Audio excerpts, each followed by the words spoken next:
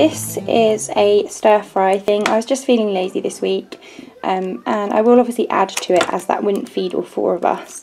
Um, and we're going to have that with noodles and I might chuck in some cashew nuts in there. And then um, I got some Maris Piper potatoes as these are my favourite for making roast potatoes and wedges and stuff like that with. Um, got some apples and then I also got some just everyday wonky apples. I quite like buying those. And I can just either cook with those, put them in a porridge or um, give them to the kids. Um, and I got some mixed peppers. They've only got ones with two green and red at the moment, which is a bit annoying. Um, but you can't really complain. got some sweet potatoes, some sweet corn, some of these mushrooms. Chestnut mushrooms are in season at the moment, so they had these wonky veg mushrooms for cheap. And I've got an aubergine because that's going to go into a curry. Um, I've got some avocado. I've got some asparagus, bananas, carrots, easy peelers. And is that all the fresh stuff? Yeah, not loads of fresh stuff this week. Um, and then on the fridge stuff, I've got some hummus, some cheese. I bought this vintage cheddar and caramelised onion quiche as I just thought we always have pizza once a week and I thought we could just have it as an alternative to pizza and I'm going to serve that with the asparagus and potato, sweet potato. Um, I've got some organic eggs, some natural yoghurt for the boys, some apple and fruit pots to go with that and I got a few of these, I actually got two more but they've eaten them already. They do another one that's got fruit and veg in it as well, an orange one. I can't remember exactly what was in it. It's like carrot and I don't know, but um, they ate those on the way home. Um, said hummus. Um, and is that all the fridge stuff? I think it is. And then um, moving on to this stuff is all like cupboardy bits.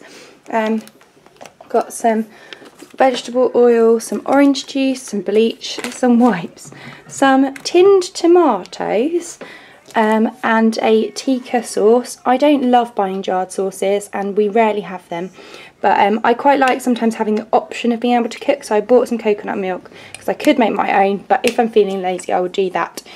Um, and then I bought two tins of pole and line caught tuna. It's really important to me that they're the pole the one one at a time caught ones. Some coffee some soy milk because that's what I drink. And some some twisty pasta, some gnocchi, dry roasted peanuts. I get these for the boys instead of crisps. They're probably full of salt. Yeah, they're quite high in fat, which I obviously don't mind because um, my boys are skinny little minis. And then um, high in salt, they, I just give them a handful of those in their lunch instead of crisps. Um, and then I got these lentil curls for me and John, for, mainly for John for his lunches got some super seeded wraps. We're going to have falafel, which I've already got in the cupboard. We're going to have falafel wraps. Um, we got some garlic and coriander naan, some brioche, some soft, soft wholemeal, soft meal, and some, um, what's this called? Soreen, malt loaf. I'm pretty sure that is everything. And that whole shop came to £42 I just thought I'd talk you through our meal plan. So today's Tuesday. We're going to have quiche with sweet potatoes and asparagus. Tomorrow we'll have aubergine, sweet potato and chickpea curry with rice and naan. Thursday we're having falafel and salad wraps with extra veggies. Friday we'll have gnocchi and tomato sauce with other veg inside. Saturday we'll have stir fry with cashew nuts and noodles. Sunday we'll have jacket and beans. Monday we'll have tuna pasta. So what I might actually swap these around a little bit. Like I know the stir fry probably won't last until Saturday now. So I will probably swap something around, but that's cool. For breakfast we have, the boys just have some brioche and cereal. Um, and I like to have porridge and toast. Lunches, there's sandwiches, cheese and crackers, beans on toast.